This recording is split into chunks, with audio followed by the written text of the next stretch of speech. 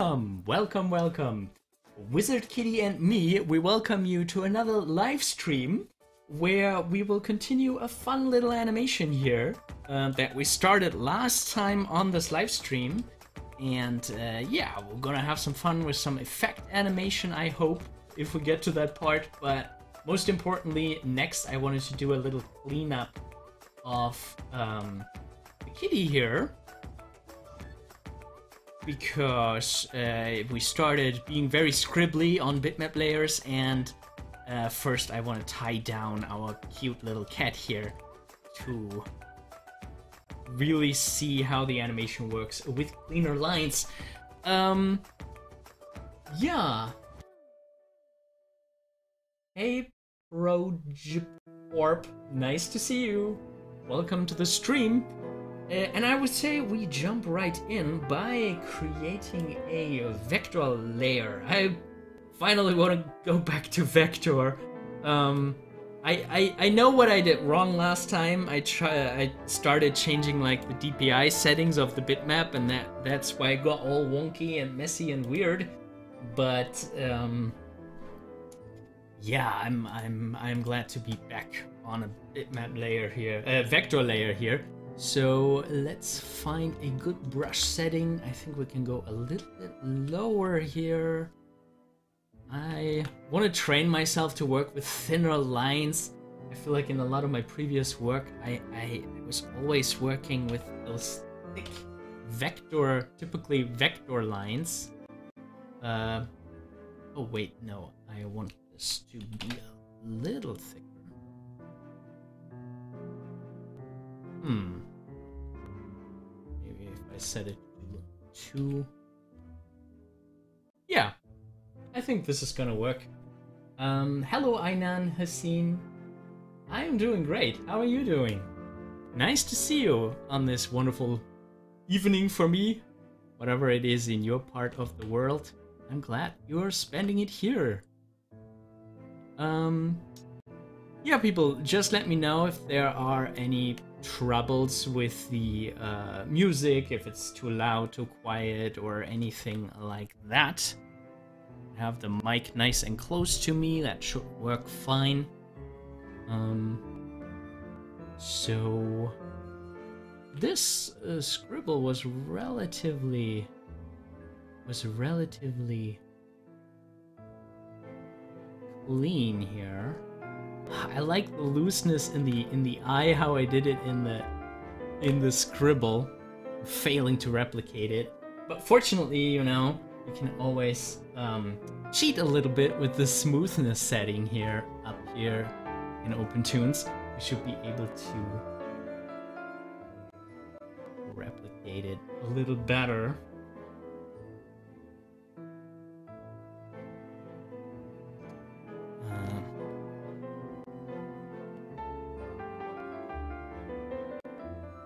Scott. Nice to see you. How are you doing?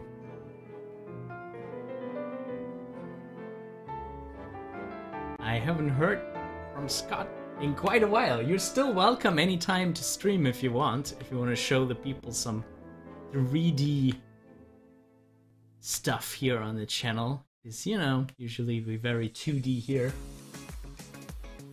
Ainan says this is nighttime in my country. Yeah! I know those nights where you spent them on YouTube instead of sleeping. I feel like, like sometimes I really hate going to bed because I feel it feels like I have to put everything on hold that I'm I'm doing and there's still so much to do. So much fun stuff.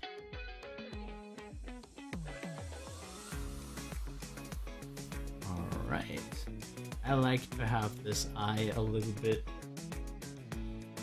a little bit more open. I love me some asymmetry. Although we probably should move that eyelid down a little bit.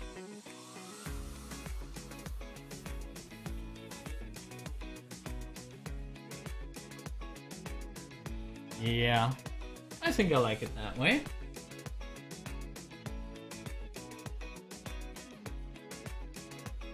Oh, Scott, you replied to me in Skype. Ooh, I gotta check Skype again. I wonder if this is still opening on my PC. I, haven't seen Skype in a while. Hmm. it's so weird. Like, everything used to be Skype, and I feel like, I don't know, since the pandemic, everything is happening in like Zoom and at my workplace, Teams and Slack have replaced everything. I feel like weirdly Skype lost a little bit of foothold, which is, which is kind of strange because you know you you would think that like in those times where everybody needs uh, video messaging, that Skype should be doing really good. But yeah, I'll I'll I'll, I'll see. I'll check what my Skype is doing. Mm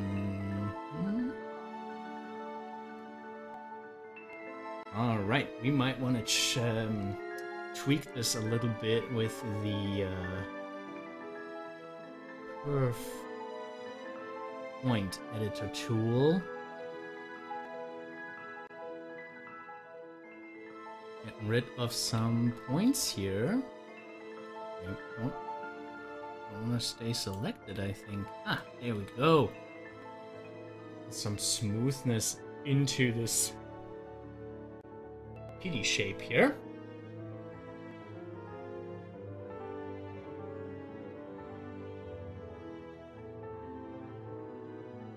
Hello, Dr. Pawan.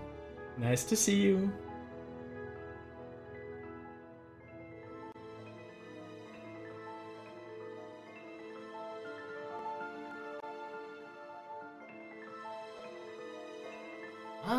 Scott would like to do more live streaming if the people want to see it. Yeah, people, what do you think? Do you want to have more 3D live streams?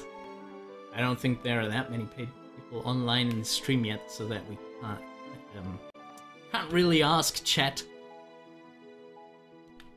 like a representative poll, but I would love to have more 3D content on uh, Animator Island. I would also like to get more into 3D myself.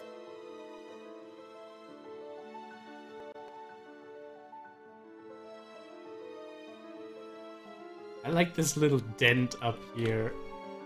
Tiniest little dent undermining his authority.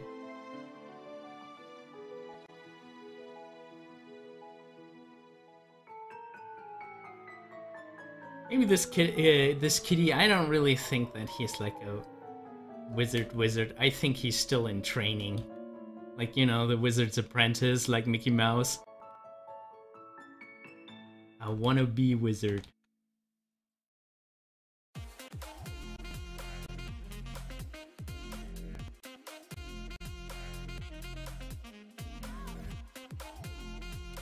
So yeah,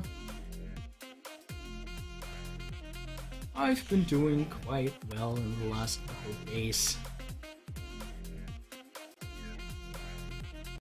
And this is actually part of, you know, I want to try to do more live streaming, but I also want to try to do more like of my own animation because I realized I had I think I already said that a couple times in stream. I really didn't um, draw just for fun anymore or animate it just for fun anymore. And I feel like that's so sad. Like, you know, you get into art and animation because you have fun doing it, but depending on how life goes, you know, there's a lot of work that you have to do, which, you know, I'm not complaining. I'm happy that I have work. But yeah, so doing something little fun like this I'm I'm I'm really looking forward to do to to, to doing that more, and hopefully live stream more regularly, so you can actually expect stuff happening on this channel. Scott is asking me, how was the move? Yeah, I moved. Well, you, you almost can't say recently because it's already been quite a while. Um, I think we moved like in November already and uh, yeah, no, it it it it was something that we really looked forward to.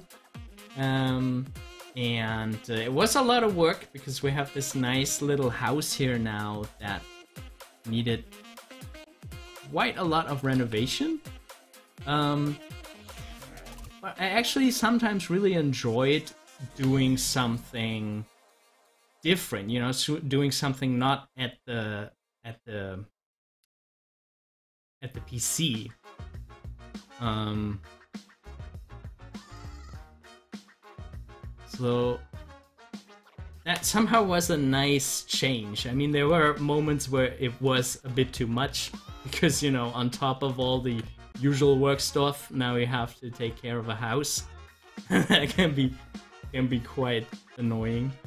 But yeah, we have most of the stuff unpacked now. The books are in their shelves now, which that, that makes me happy. I like from moving. I think my favorite um my favorite part of moving is when you put stuff in shelves and you can organize it and have a new system and everything is where you would like it to be. I really like that aspect of moving. Um, yeah, Danger Do, it is allowed to ask for tips and tricks here, of course, anytime. Hello Chanel, nice to see you.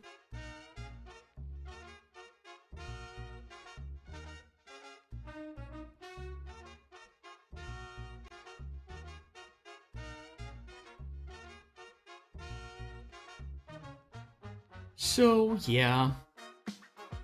And I don't know, sometimes random things make me really happy. We have uh we have a little we have a weird little entrance area. Like there's a staircase. Our house is very narrow, um, but two stories.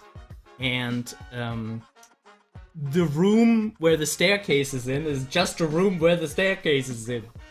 And um it's kinda like a little bit wasted space because you know you, you can't put a desk in there you can't put a table in there. Um it, it, can't be like a functional room. It like it can't be a living room. It can't be like it's nothing.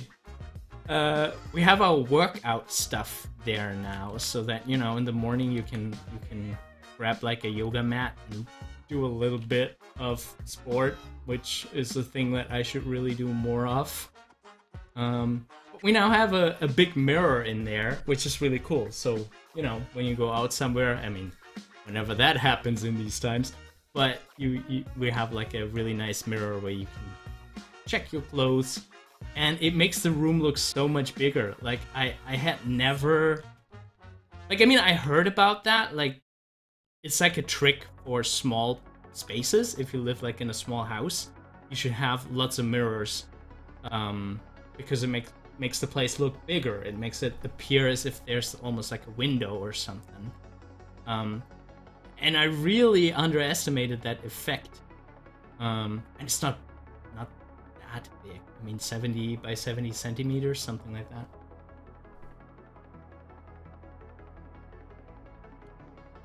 Um, let me see if I can bring up a chat question actually at the um, on the screen when I'm starting to answer chat questions here. From YouTube.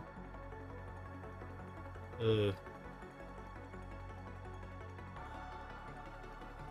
where is that? It's just a couple clicks. I'll be back to talking about interesting stuff in a couple clicks trying to get the technology to do what I wanted to do.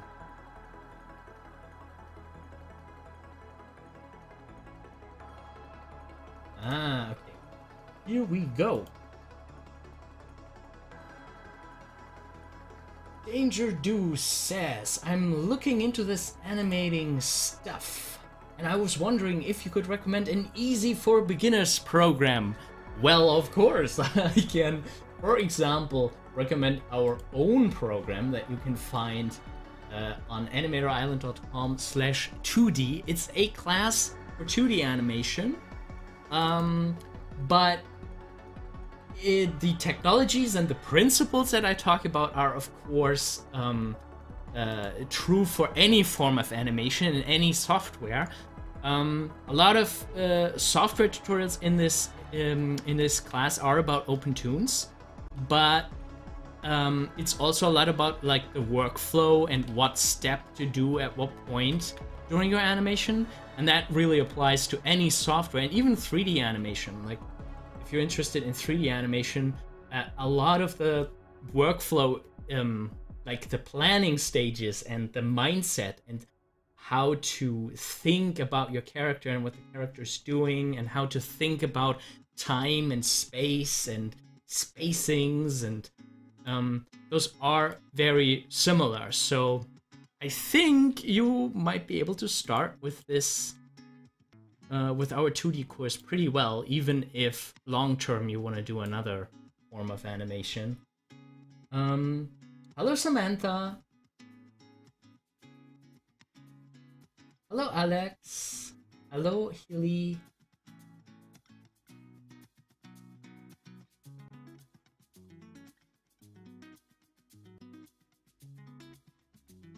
So yeah, uh, that's our own animation class. Everybody who's interested in, in it, go check it out. Um, like the the videos we added recently are like one of the most recent uploads to this channel are about an animation workflow, how professional animators are working by creating the poses first, and then worry about timing and all that stuff later.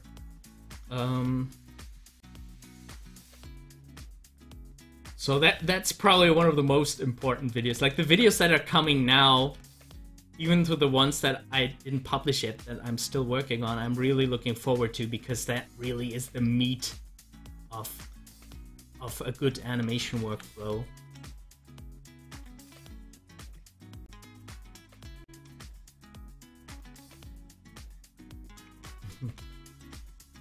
yeah, sometimes you just need to commit to a line here. That's a line we can work with. Now let's cut it off. I wonder what the best tool in OpenToonz is to, to like get rid of these like protruding lines. Some vector software have some really good tools where you can just cross out protruding lines. I mean, this this worked okay. This worked quite well.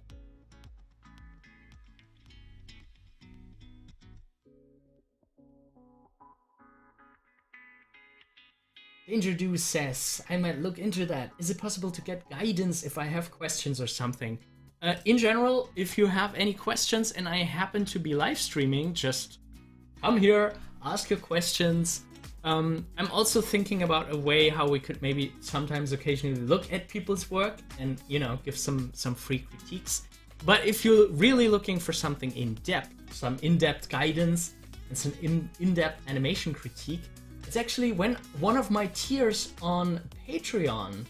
Um, we have a group mentoring session every month, and you can check out more about this on animatorisland.com slash group mentoring um, where if you become a patron in the group mentoring tier, you can join this monthly session, bring whatever you're currently working on, and you know, that can be anything. That can be an animation, it can just be an artwork, it can be a character design, a story idea, and um, you can present it, and I will give you feedback, annotate it, draw over it, uh, help you improve it, and there are also other wonderful people in that mentoring session, other, other students, um, to give you feedback as well and ideas and stuff. Because, you know, sometimes it's really good to get different perspective on your work.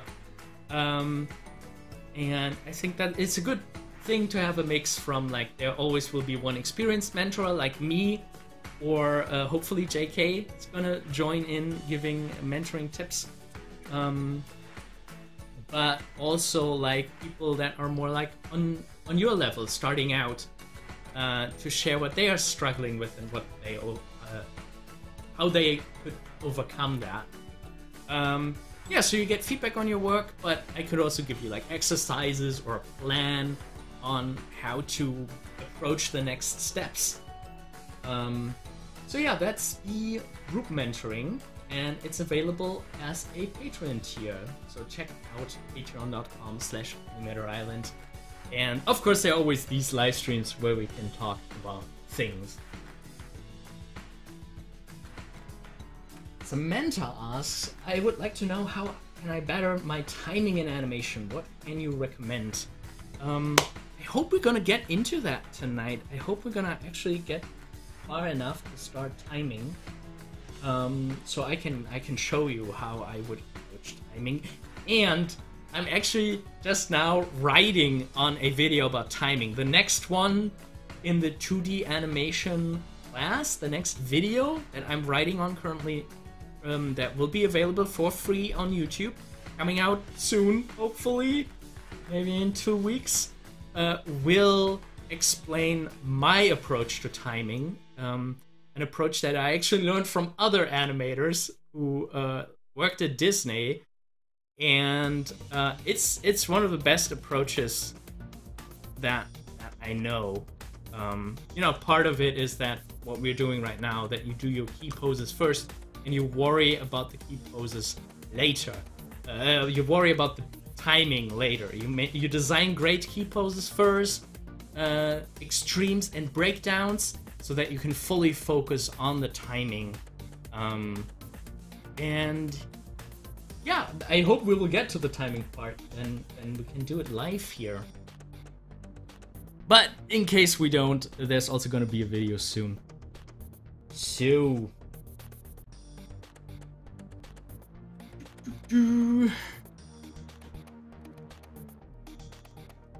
Now... I feel like some lines... I'm getting like a really good flow tonight and some lines are just horribly wobbly.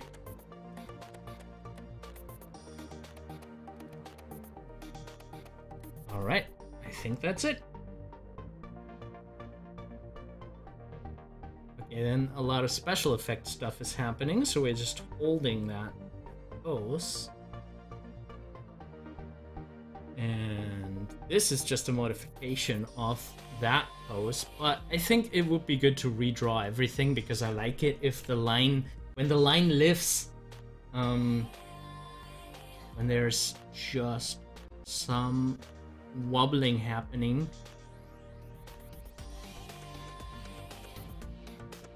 Maybe I should zoom in a bit.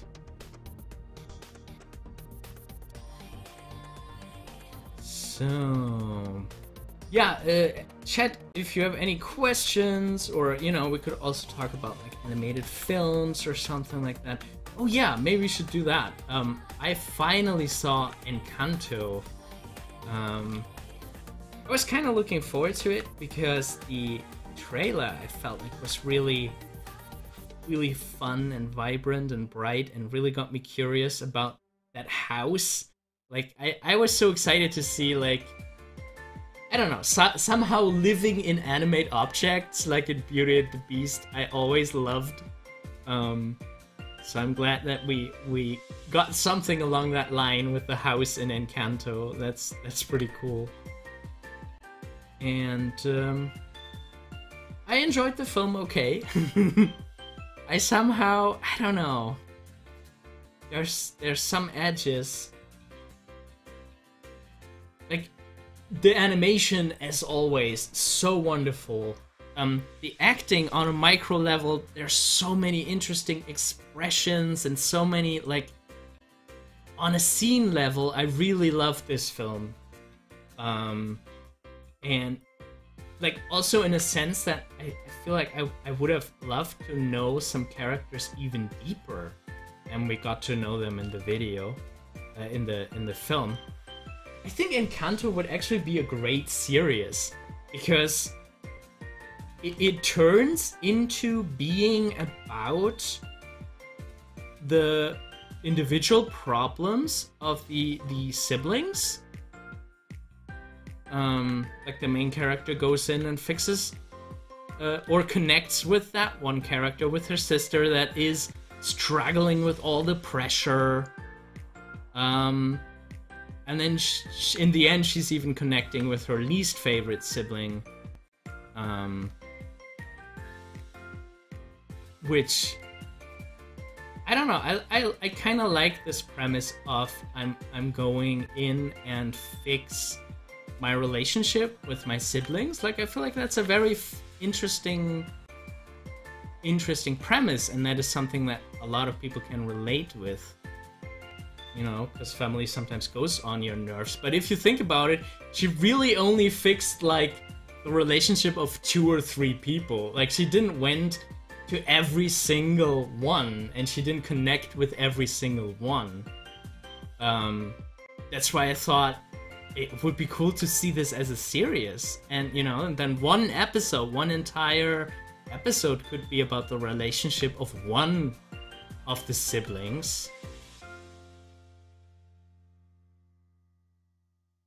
And and then there are some things like, you know, whenever this there's like magic powers involved, I sometimes go into like a rule lawyer mode. And I'm like, wait a second. If she has perfect hearing and she hears her sister's eyelid twitch, uh, like, why didn't she hear the grandmother mumbling about how she's really worried and how she thinks that the magic is fading? and stuff like that. Like, like, you know, there was some stuff that was whispered that she supposedly didn't hear. How does that work? Um.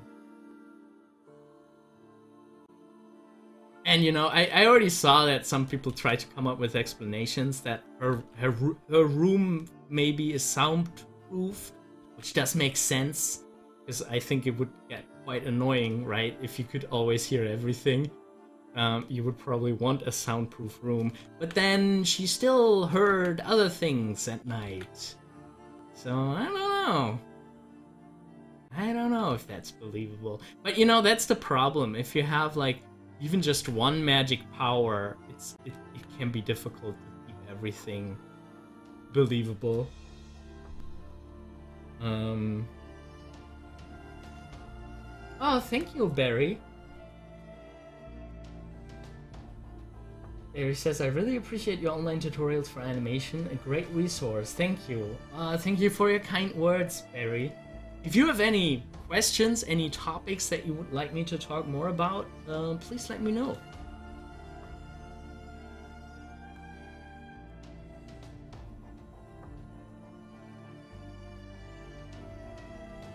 Lily says, I probably need to see it again, in Encanto. Uh, I got the sense that most characters knew more than they let on. Yeah, maybe. Maybe there was some stuff hidden in there. I hope so. Um, like I don't know. Ever, ever since, uh, what was his name? Hans in Frozen. I'm so like, ah, like I don't know. I feel like Disney is thinking nowadays that you don't need to prepare twists or hide I don't know, like little secrets, little little character moments that tell you stuff. Like I don't know. In Frozen, they definitely got lazy with that. Um, so I hope they did it in Encanto. But I mean, it would make sense that some characters knew more, and I mean, they have to be a little bit dan- um, they have to be a little bit careful because that grandma is really not taking well to critique. Um, so I don't know. I feel like the, the movie didn't really explore some things, and like I also didn't like how that that exposition song. Like I mean, it looked beautiful, animation great, uh, colors great, rendering great, uh, light models, everything, you know, high quality Disney, without a doubt. I just feel like, is it really necessary to just list, like, oh, this sibling does this and this sibling does that, and I don't know, wouldn't it be more cool to just see their everyday life and maybe even like interacting with the main character in a way that indicates that they need help and stuff, like beyond just a list. I mean, I guess that was what they were trying to do. They they were I don't know. It didn't feel like an everyday scene though. It felt more like um the the kids are asking her, and and she's just answering. Hi, Ivan. Nice to see you. Oh, you got online class.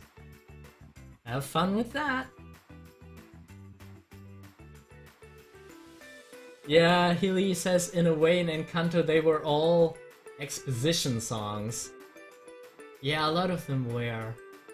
My favorite movie, uh, my favorite music, my favorite song was the Surface Pressure one of the, um, because you know there something actually happened in the song. Uh, the sister revealed that she was under pressure, that she was feeling like that, and that her wish was to relax and stuff. Like there was a little more a little more than just hey, I'm strong. Uh, hey, this girl can make flowers, and hey, this person can shapeshift. And, you know, there was more about what it means to have that power. I love that stuff. You know, that a superpower can be a curse. Like, now we're talking. That is a story. I was so happy when that song came on. Ciao, Ivan. Ivan, I like to see timing charts on everything in real life. Yeah, that would be cool if you could just, you know, get your your your study annotations right next to real life.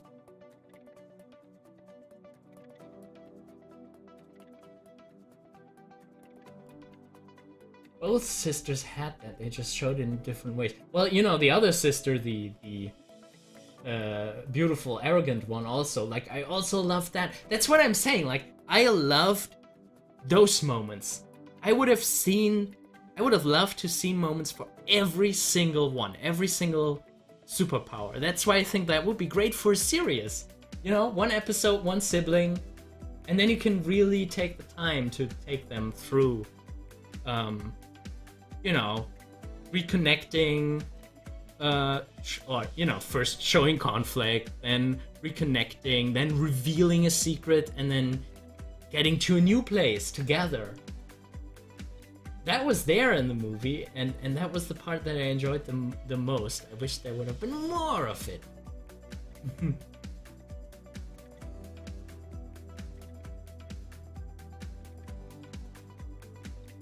but yeah. It was a, a great question by Samantha. What magic power would you like to have? Hmm. Hmm. Hmm. Hmm. Difficult. I feel like invisibility is pretty cool. Um, but you know, I, I feel like a lot of people would say invisibility for like the oh you can eavesdrop and you can spy on on on on things. Like I think turning invisible is also great for being left alone.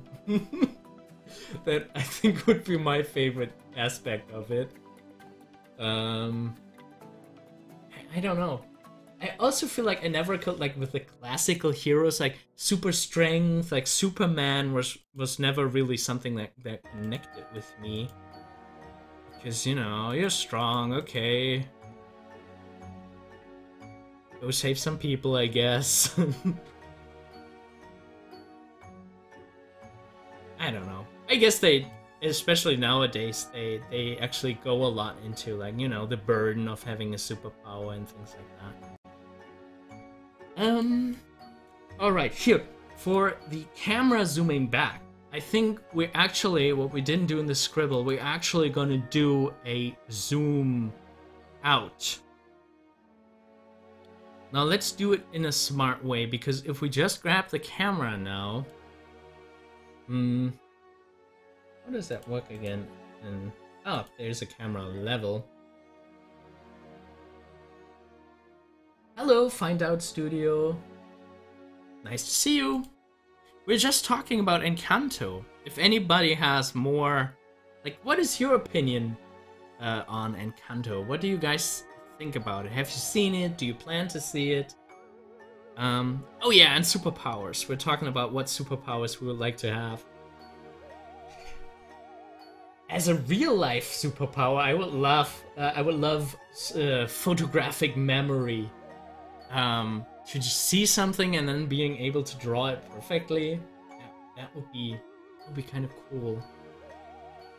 I actually do have a friend with photographic memory. She doesn't like it so much because you know you also keep things in, in mind that you wouldn't like to remember. Um, but yeah. So we wanted to move the camera. Okay, so let's zoom out here and um and set some keyframes, I guess. But you know, if we just move the camera out like this, uh, scale it.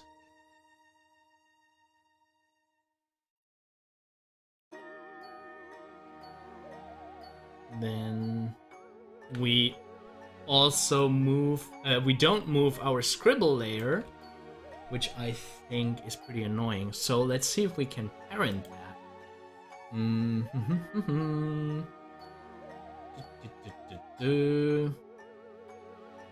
Where is that view thing? What is it called again? I'm hopping around too much software. Schematic is what they call it Okay, so camera. Mm, camera. When I move the camera, I would also like to move those three layers.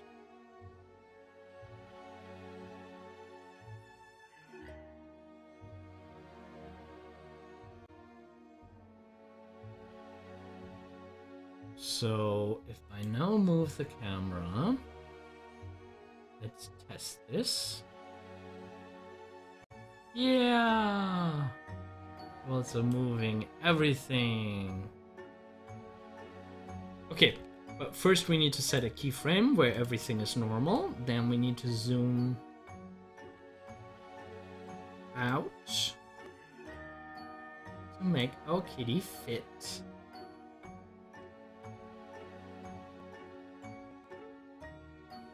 In here with some really cool special effects.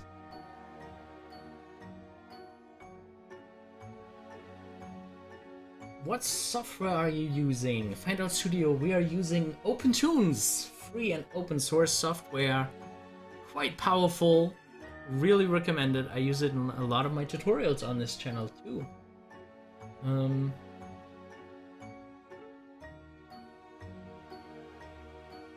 Oh, Healy, that's really interesting. I always like time manipulation, teleport, teleportation, and super speed. Mostly for the same reason. Uh-huh. That's pretty cool. Have you seen Kid Cosmic? Uh, with those those superpower stones. Um, they are doing some really cool stuff with like teleportation portals there. Really fun. Um, yeah, and time manipulation. I don't know, time stuff can get so complicated, but making time slower, for example, that would be quite nice.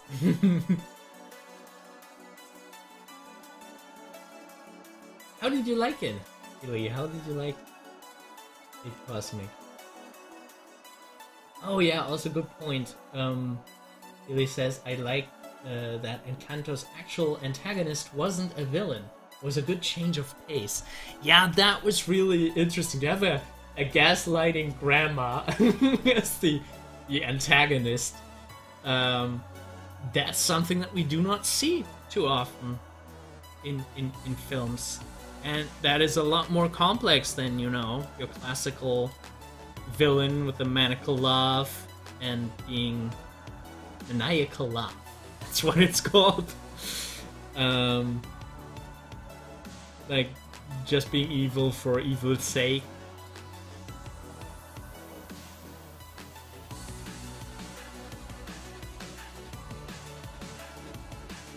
Yeah, the waitress has the portal ability.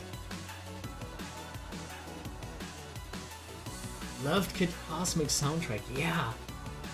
Yeah, yeah, it's really iconic feel like all of um, Craig McCracken's um, uh, series have really nice uh, sound design and, and, and music is really important and genres of music and different genres for different uh, for different characters.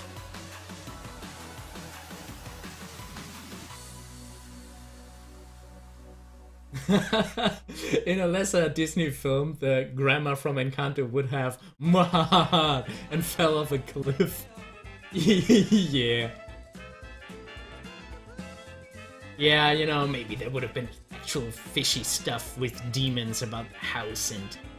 Yeah. No, I, I really like that. I really like that. And I feel like that's also something that a lot of people can connect with, you know? Your family's expectations. Um, that you feel like you can never. that you can never fulfill. Um. Yeah, so that's that's it's really nice to have more of that like more serious stuff and if you think about it it's relatively like it's a, a, more invisible conflict a smaller like not a smaller conflict but you know more personal more individual. And that is something that i would love to see more in mainstream animation. I mean every now and then don't get me wrong like a classic villain can be super fun. Um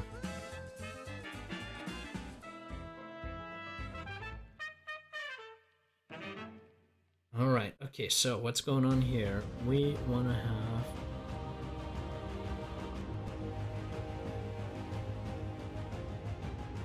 That pose.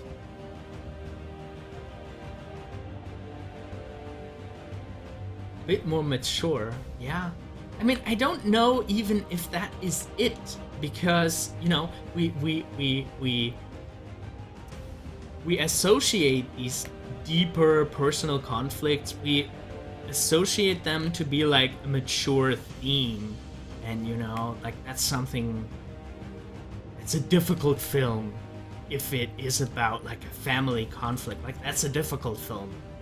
But if you think about it, kids experience um they experience conflicts in the in the family. Um even if at an age where they might not be able to fully understand it, but you know, kids are exposed to this kind of conflict. I'm surprised that there isn't more films about things like. Um, and you know, it could could also be like not to take this to a really dark place, but I think if you know a kid is in like an abusive family, it could actually be very healing to have a film that shows how a kid got out of an abusive family or got better or you know solved that conflict in some ways. Um,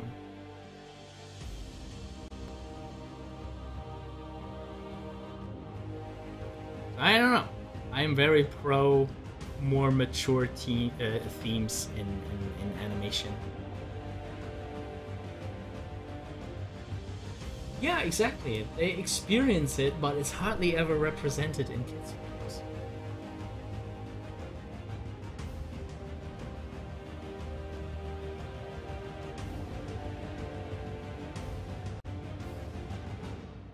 And you know, there are different ways to do it too. It could just be a side character who's going through some stuff. It doesn't have to be the main character.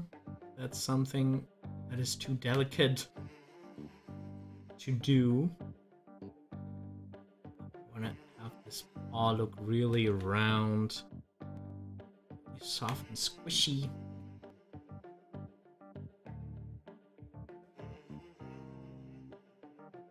I feel like I'm kind of slow today. I'm so sorry, guys.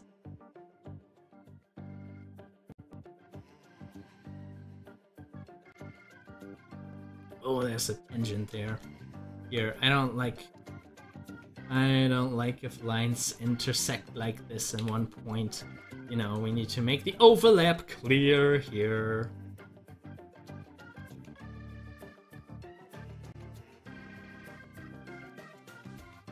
Why stretch the arm out fully.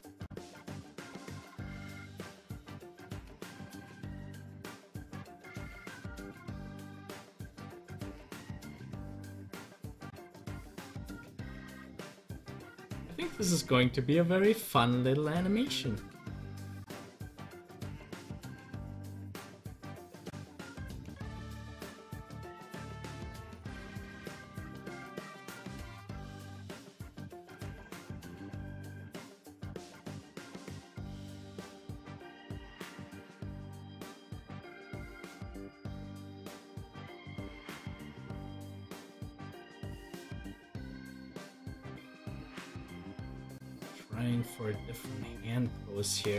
In some variation. And you know, the magic kinda intensifies, so I wanna I wanna get into that too. But I don't know, this just doesn't look right.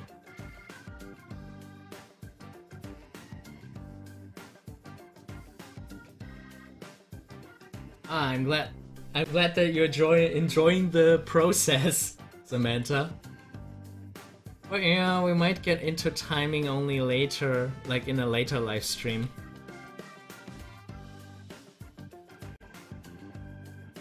Ah, yeah, I, I like some crazy, I like me some crazy hand shapes. I have like some, like, argh, I really want him to, like, clutch his fingers.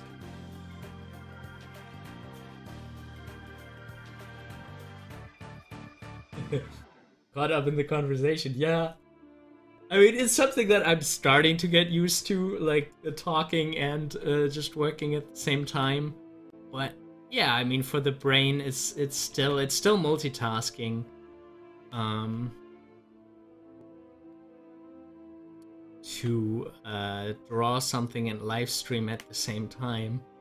And I also realize how my sentences kind of sometimes trail a little bit long when I'm like and yeah, then we do this here. And that curve here. Going around. I'm sorry when I do that. I try to avoid that. But sometimes I can't help it.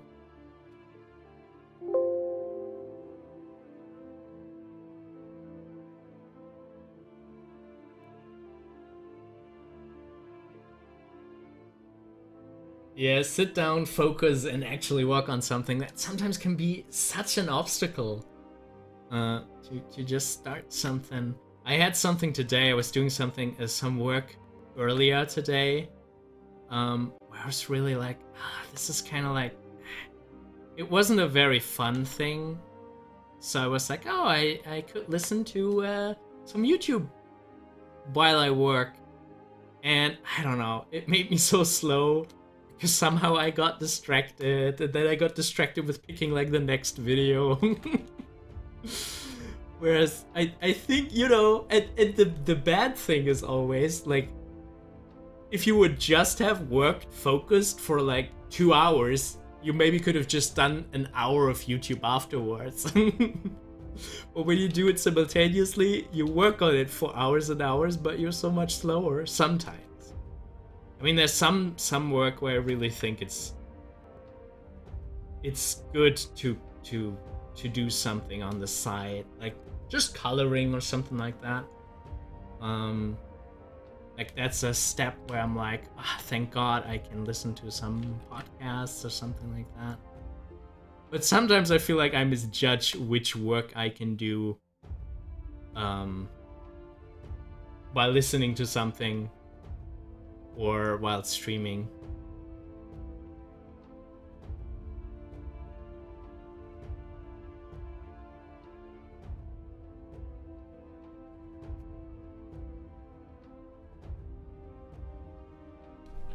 Keely says, I have that issue with viewed VTubers.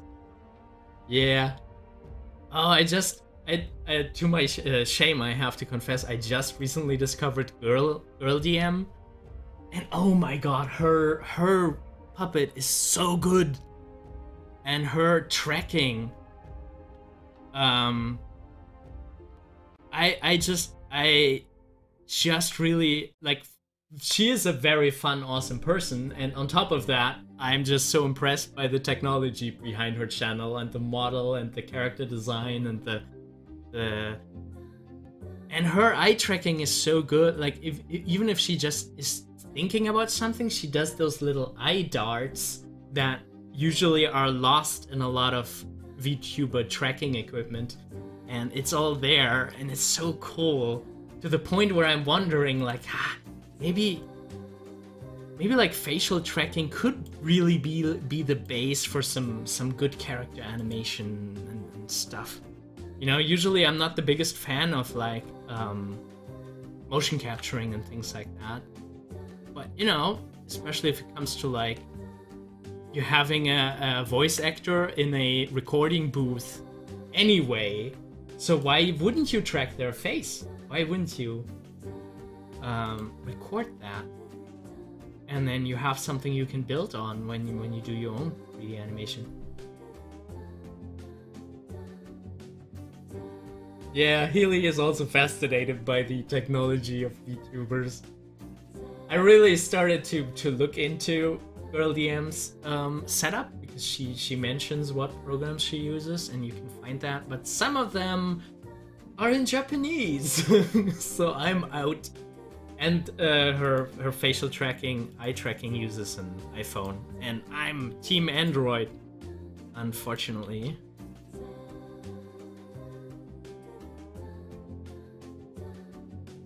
Yeah, and I, th- uh, I think the reason why it has to be an iPhone is because of the depth sensor that they have.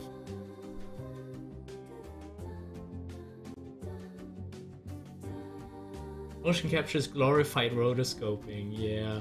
Still valuable. Yeah, I agree with both.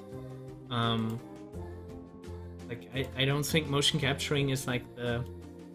I mean, for some industries is the holy grail. Like, for some games that can now do decent quality animation, a lot of decent quality animation uh, in much less time. It certainly, it certainly is a very big change.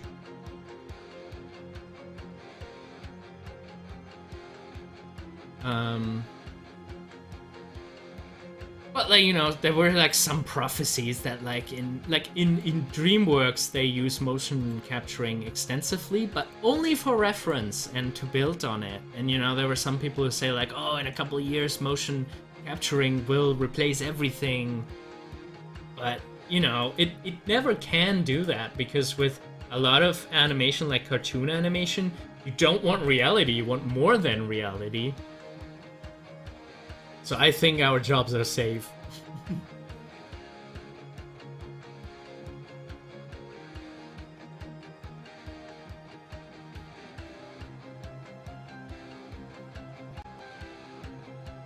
ah, learning Japanese, Hilly. That's cool. Yeah. That sounds great. So if you have learned if you have learned enough Japanese for what is it called? It? Look at look at something like this, and you can start your VTubing career.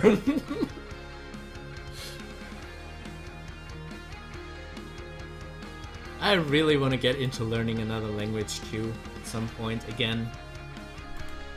In school, I learned some like at school I actually learned Latin first, um, then English, French, and Spanish, and especially French and Spanish. I really forgotten. I mean, if I hear some Spanish or something, or French. Well, I mean, hearing French is is difficult to decipher, but you know, some Spanish I kind of like can, can kind of guess what's going on. But I really, I really need to to get back into it. And you know, with these times you don't even have traveling here in Europe, so I don't know. But one day, I'll like to reactivate that again. Always learning Japanese. I imagine that the grammar is a lot different from the European languages from English.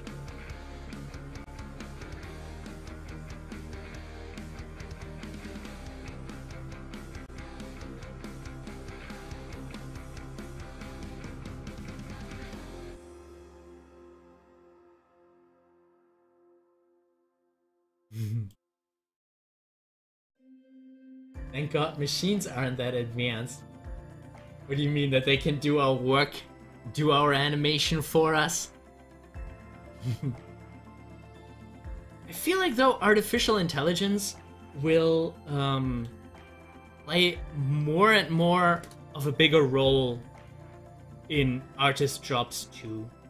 Um, I like, I that was before the pandemic and everything, but you know, uh, you find um, on this channel you'll find some some some interviews and stuff from the FMX, which is an animation and VFX conference in Germany. Um, and I, I, was really fascinated by this by the stuff that they presented there in terms of artificial intelligence and in, in terms of the picture that they were painting there. Um, because I think what what artificial intelligence could be really good at would be concept art. Wouldn't it be great if you could tell a machine to just say, okay, um, give me 20 trees in that style. Like I give you a reference frame and then generate different trees that look a little bit like this one, but you know, each a little bit different. Um, like generating a city or something like that if you teach an algorithm how houses look and what different types of windows there are, then an artificial intelligence can build a city. Something that would take a human months to do if they would individually build every single house. Um, so, so I think in concept art, this could be a really useful tool. You still need an operator, and I think that's the reason why artificial intelligence will take a long time to really completely um, uh, take over jobs because you always need an operator. You need a human eye to tell the artificial intelligence intelligence if it's doing good or not. But I think if you have that, um, that would be a very interesting time. Japanese grammar and sentence structure are very different. Yeah, I, I, I believe that. I find it so like um I learned Latin, so in Latin there are some uh like the the the way how you conjugate verbs there are cases that do not exist in German or English. Oh yeah, I'm a German speaker, so I also know German. Um, but there there there are some cases that just don't exist in any of the other languages. And that is very, I feel like, you know, to learn that, to be like, yeah, if, um, if the person talks about you, but you are multiple, with multiple people, then in this case, that you don't really have a feeling for, then you need to use this conjugation. Um, and that's just so I mean, I find it find it really interesting how stuff like that happens. Um, what is actually happening in this frame?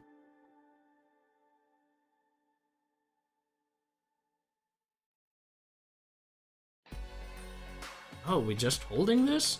Okay. We're just holding this. I think we have our most important frames then. We have this one. We have uh, this one, where all the magic happens.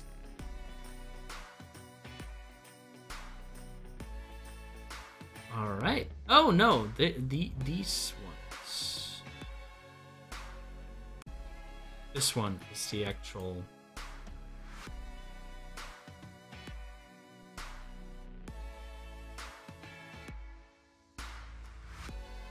one is the actual frame. Okay.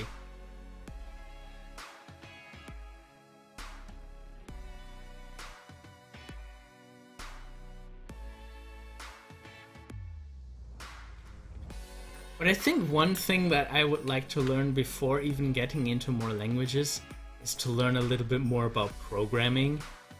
Um, kind of sliding into this more and more because I occasionally do web design um, if there are not enough animation jobs to go around, I'm actually having a part-time job now.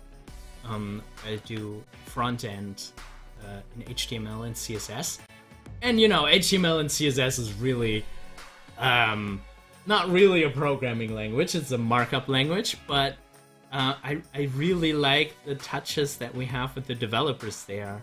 And when they are creating new features and they ask us designers how to um, to make the stuff, I, I frequently wish like, oh, I just wish I could create my own applications. I wish I could just do my own programming to, you know, for example, like I'm I'm a freak for to do and project management software because no to do and project management software is exactly how I want it. Is exactly right. Um, that's a weak pose. I really don't like that pose. What are we gonna do about this? Gonna put some sass into it by having his arm up here.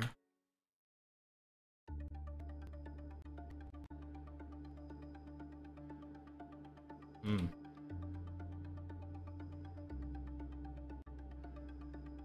Didn't we have like what is the beginning pose? Oh, with his arm behind his back. Like our little wizard dude lost some sass here. We need to bring back the sass.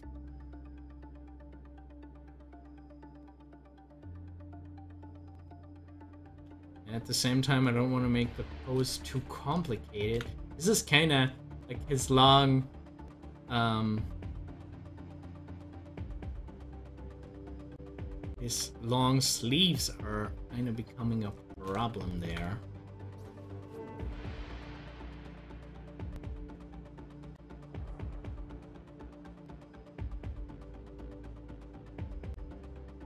No, that does not look right. That just looks like he has a growth on his side.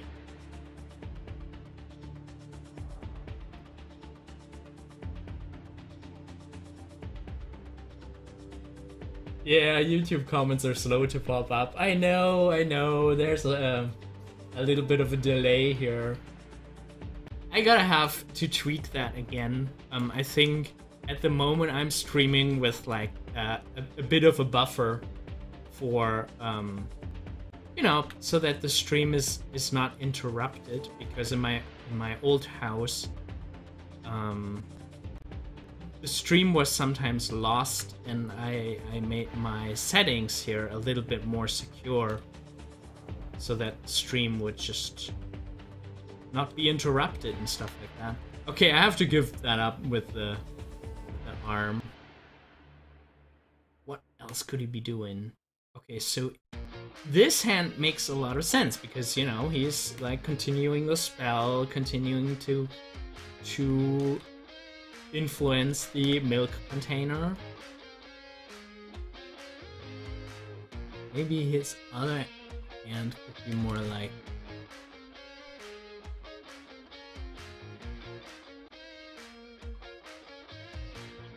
Yeah, I like that more. I like that a lot more than the symmetric and the symmetry there. Hello, Infinite Imagination! Nice to see you! Ah, Samantha is recommending Python as a programming language. Really friendly and easy to learn and not problematic. I touched a little bit into uh, um, into Python with uh, Blender actually.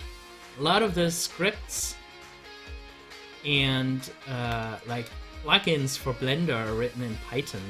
So back in the days where I was experimenting more with Blender, I even like sometimes went into some plugins and without really knowing much about Python, found like things in the code or tweaked things in the code or like changed a number here and there. Um, yeah, I'm I'm kind of curious about that, and it would be kind of cool to you know be able to write your own scripts in Blender to make really complicated rigging things, maybe. Sounds good. Have you guys heard about something called uh, Ruby, specifically Ruby on Rails? Um, that was the one that I have been researching a lot. It won't help me for like 3D and Blender and Python and stuff like that. But I heard that it's really easy to make like simple interfaces in there. Um, like if you want to build like your own lock or your own to-do app or something, that's apparently something that you can do really quickly in Ruby on Rails. Um,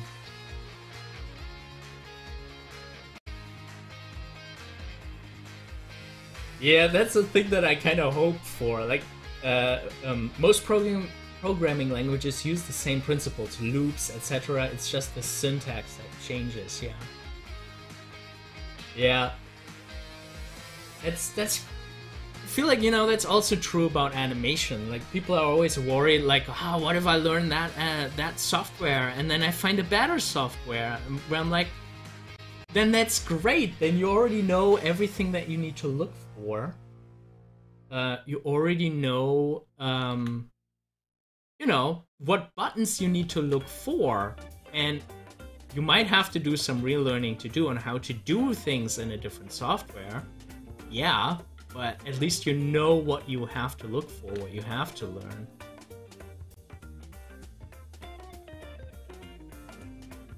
So yeah, in a way, I think the most important thing is probably just starting, starting with something. And then you can always change direction later.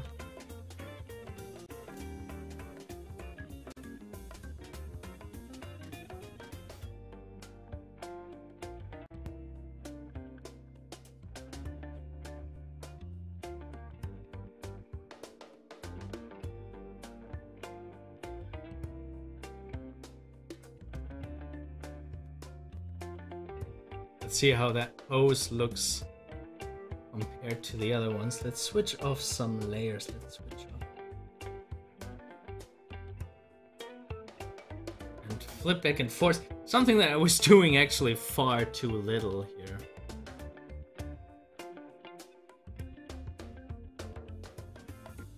Yeah, I think that is reasonably consistent with a head.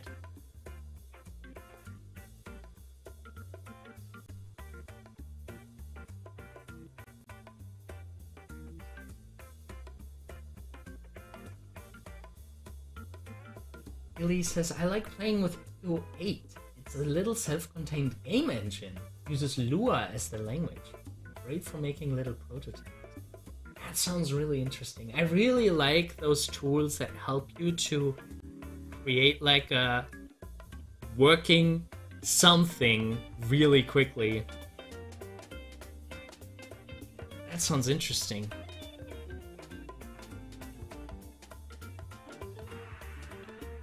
Because I feel like that's also very good for motivation. If you get something that like kind of works the direction that you wanted to, to check out, that you wanted to explore really quickly. And I feel like that's something that can really help to get like the momentum of a project going. Uh, whereas, you know, if you have a, a new game engine and your first step is, okay, I just need to, I don't know, worry about the basics. I need like uh, too much to like just make the character move or walk or something, and you know that can really be demotivating.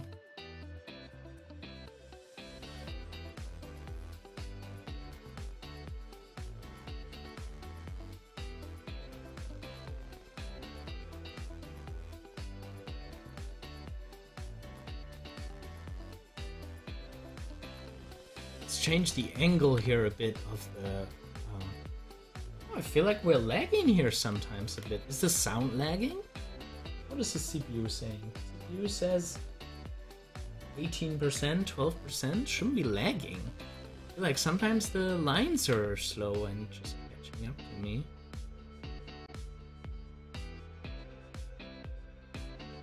you know, and of course, another dimension to knowing how to program is if you could, if you could work on an open source project, like for example, if you'd be missing a feature in OpenToonz, it's an open source project. You could just add it. You could try to to you know contribute to the pro- product and add in that feature that you're missing for everybody to enjoy.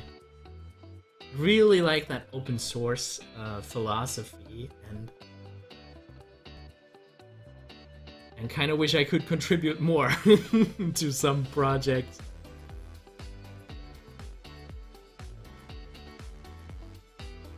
I can only contribute right now with finding bugs, and I have uh, with OpenToonz.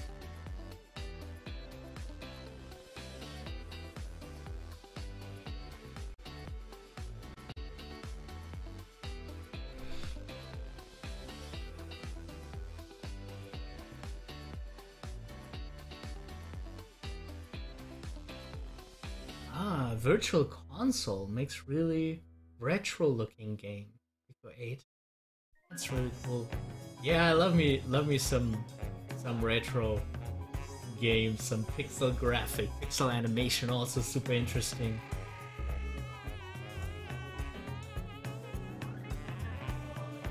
There's another thing called processing. It's similar to Java and geared towards artists. What? Geared towards artists? That sounds super interesting. Write that down. Processing.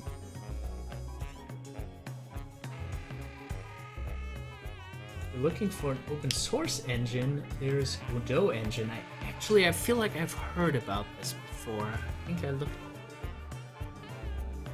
looked into that. Yeah, it's a Node engine. Yeah, yeah, yeah I saw.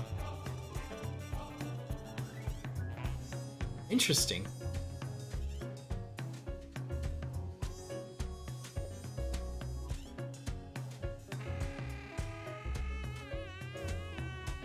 Uh, so where's the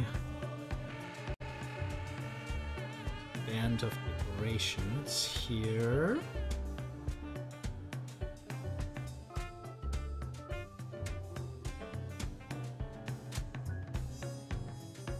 Oh, come on. Let's make this one line all smooth and nice. I think my PC is lagging today. What is going on?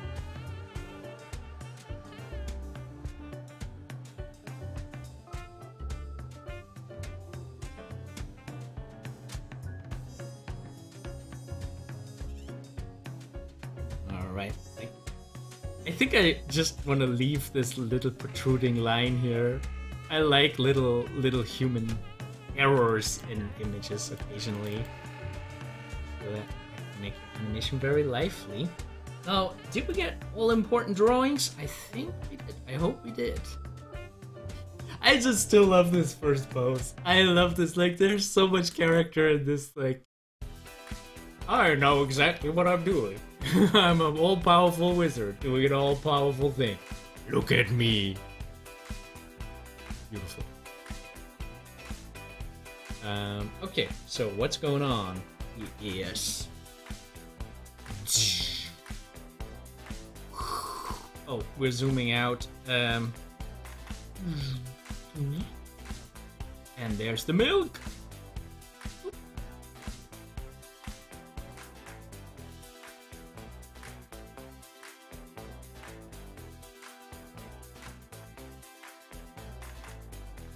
Cool.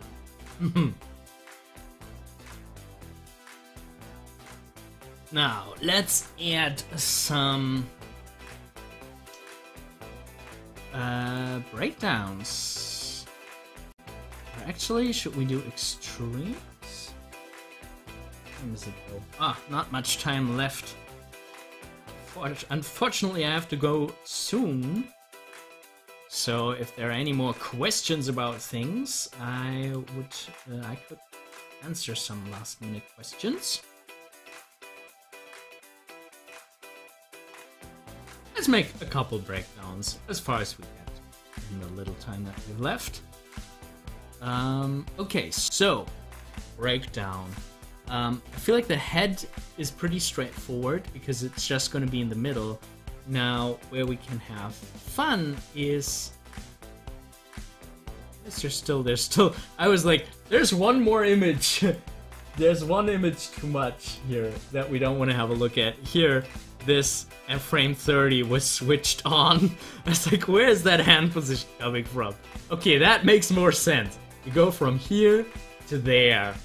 Um, so the head is kind of straightforward. We're just gonna paint in the middle, you know, breakdowns in the middle of the motion. But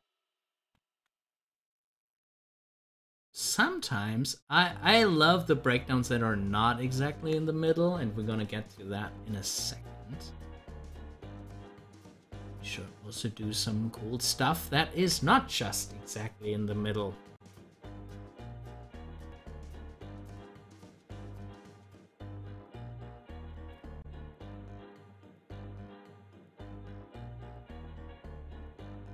Hey. Um, really, those are not my best strokes today here. Not the best brush strokes I've ever done. Hopefully, hopefully nobody watches too closely. and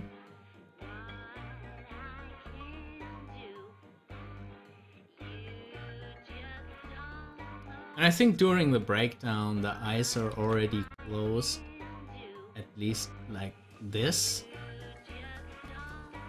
and then they get more into the round shape later.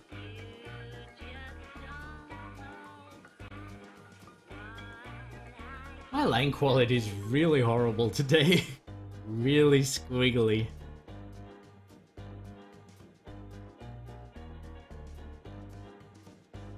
Ah, there's a question from E-Class.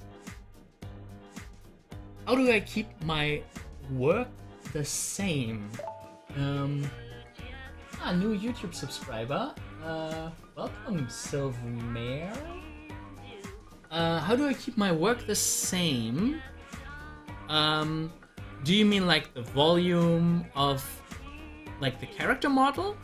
How you keep your character model the same? Um, the key to that, if you're really talking about that topic, the key to that is a model sheet um, that you have your uh, character drawn from a couple of angles and you're always using that as a reference. Um, that's gonna help a lot. Um, if I have model sheets now for this character, unfortunately I do not have a model sheet. But if I had one, I would put that on a um, on a layer under everything and just switch that on and off whenever I need it. Um, and I'm kind of using, in this case, like I feel like this is my reference layer that I take like for the height of the nose. I mean, I might have, yeah, I changed that a couple bit uh, in a couple frames. Like his snout should actually be a bit higher and stuff like that you know, for a quick fun animation like this, I would take one of the frames and say like, okay, this is my model sheet, and then check all the volumes and sizes towards that frame, if your character looks like that frame. And one thing that I occasionally also do is like, I sometimes copy like the ear to be like, okay, I want to make sure that the ear keeps the volume. So I would go in and let's say here, copy that in and this way, I can tweak this and make sure... Oh, I scaled it didn't mean to do that. Um, this way I can make sure that I'm keeping the volume. Now, if you do that too often, it will make your animation very stiff and puppet style-like, like cutout style-like. That's sometimes not what you are... what you might want.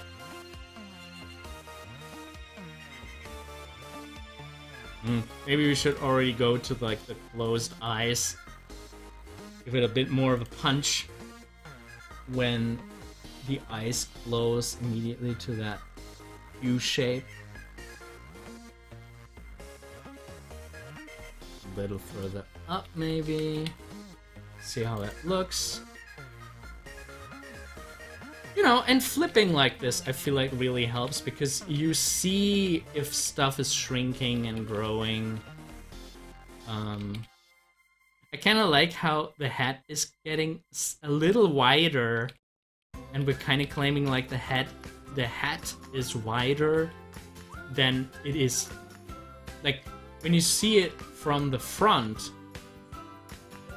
when you see it from the front, it's only like that width and when you see it, the more you see it from the side, the wider it gets. Kind of like that little detail. But we would have to keep that consistent, you know? And that's why you need a model sheet with multiple angles.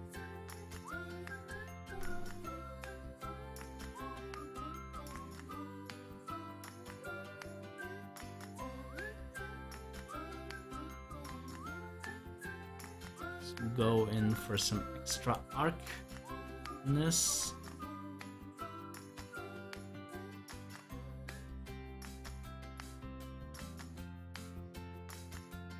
Yeah, I like that.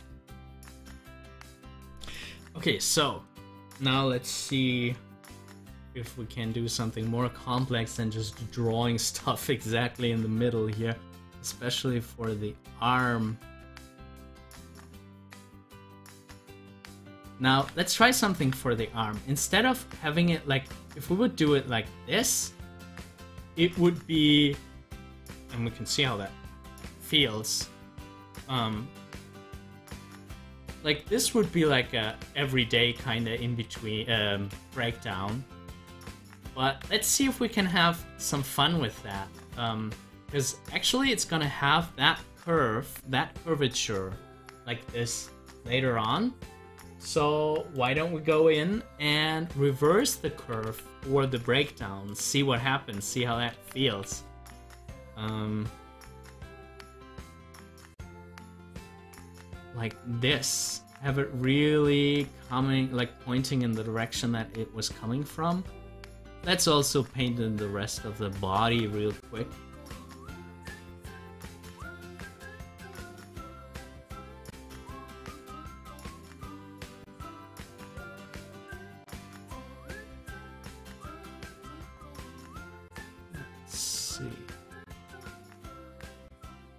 Boy, this is gonna be a bit wobbly. But you know, what was I saying? We want to have fun with this animation, so...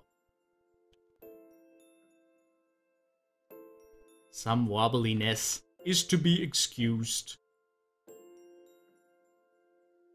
Well, let's see how that looks.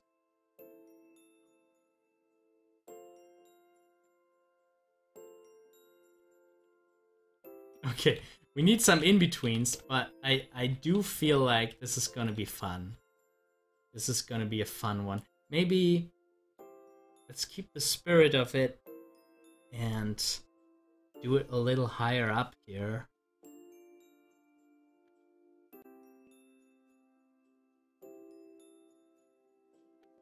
We could also think about how it would be to look into her. I do want to avoid that though in a in a breakdown to look into her sleeves and then not look into her sleeves in the pose. Um,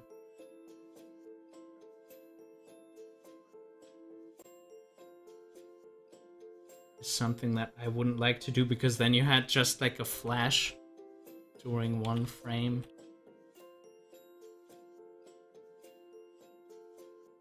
Okay, I think we can leave it like this. It's not doing the wow effect that I hoped it would do. Um, you know, sometimes if you do crazy stuff doing the breakdown, it really transcends your work. It really gives it this extra dimension of something fun and crazy going on. Let's delete some points to make this a bit more smooth. This is okay, but alright.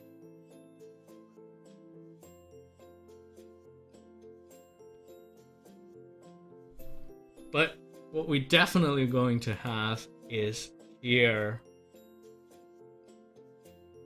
an overshoot even if it's just for the arm. And let's see how far we can get with this just by being lazy. Let's copy that frame, paste it on the previous one. Um, oh, give me a new frame, please, here. Yeah. And then just do the sleeves.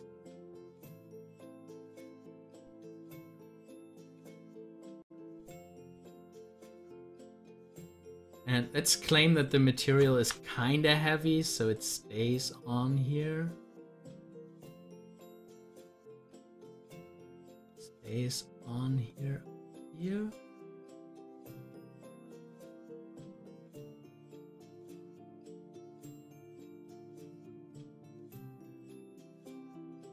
Yeah. This is totally needed. Um, very important frame.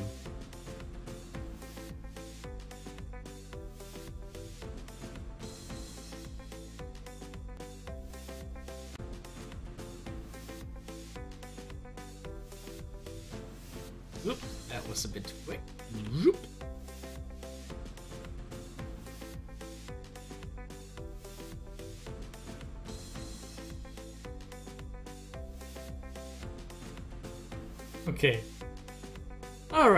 So I think that's it for today. No timing yet. I'm doing this all by just flipping through the key poses. But yeah, it's gonna be... It's gonna be fun. Switch on the scribble layer again so we can see it all.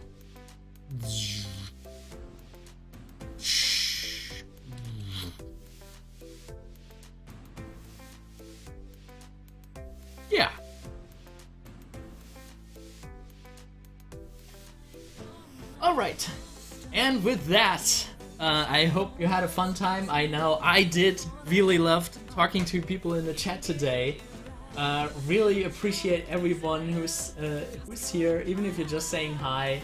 Always really appreciate it, and I love chatting with all of you tonight.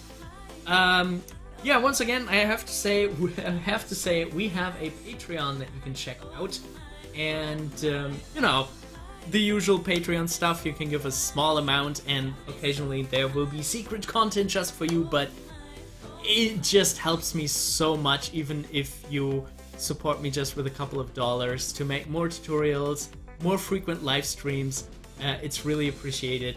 And then, of course, we also have the group mentoring which is a tier of the Patreon's uh, um, um, um, memberships. Like, if you get the group mentoring tier, you can come to a mentoring session every single month. Every single month, you can bring whatever you're currently working on, or you know, a problem that you have, a big question that you ponder about art and animation, and you will get feedback.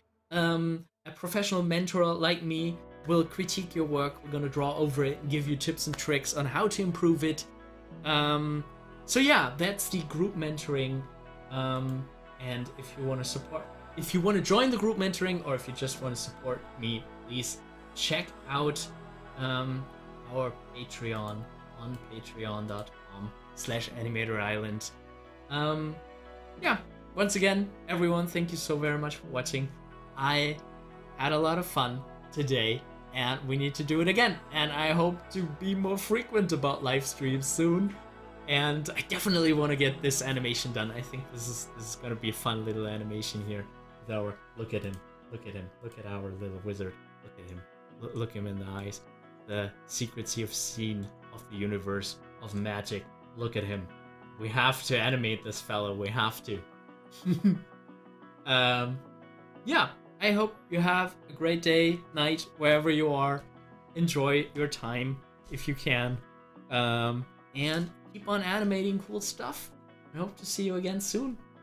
Bye bye.